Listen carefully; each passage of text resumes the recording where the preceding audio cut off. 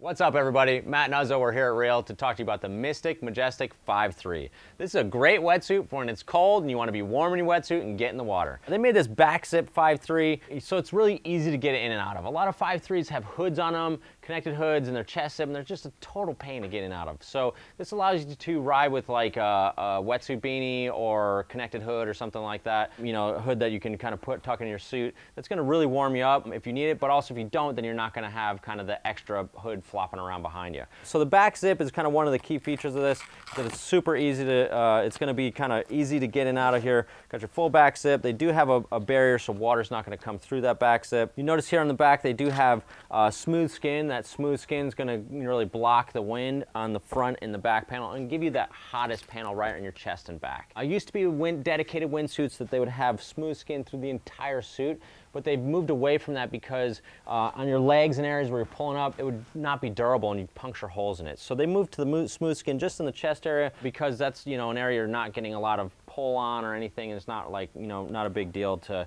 to have it there. You're really not going to have any uh, repair issues there. So with this Majestic, uh, one of the key things that they have is the Aqua Flush. So the Aqua Flush is an awesome feature for a dedicated kite suit. With this allows any water that comes in the wetsuit, if you like are body dragging or get flushed somehow or another, if you get, get water in there, it's going to come right out the bottom.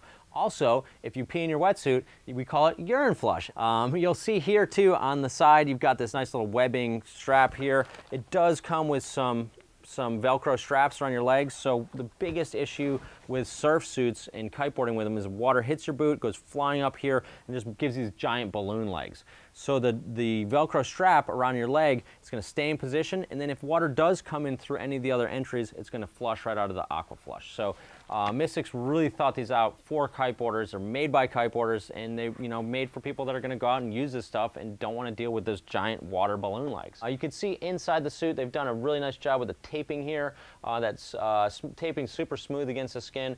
Also, you can see you've got a nice hot panel here. That's where the smooth skin is translating here. So on the front and back, you've got that hotter panel uh, just to keep you super warm. And then that uh, black is going to be a little stretchier area. You also have knee pads here, so uh, again, high wear areas on your knees uh, so that you're going to make sure that that wet wetsuit is durable and lasts a long time.